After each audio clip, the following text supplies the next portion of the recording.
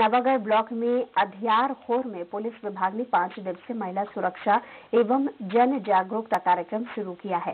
पहले दिन कोविड संक्रमण के नियंत्रण के लिए मास्क वितरण के साथ ही पीटी और योग कराया गया। सेवानिवृत्त सैनिक हरीश अवस्थी ने महिला सुरक्षा कानून की जानकारी दी।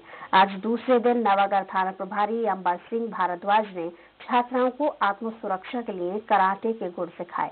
पुलिस विभाग के जवानों ने स्कूली छात्राओं को सेल्फ डिफेंस के बारे में बताया।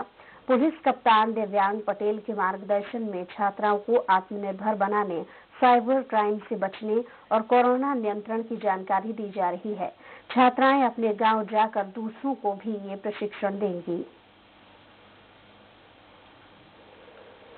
ताकत निकालनी है। मैं कैसे बताऊँ? चलिए। Four five six seven eight nine ten good सौ लड़कियों का लड़कियाँ इकट्ठा हुई है।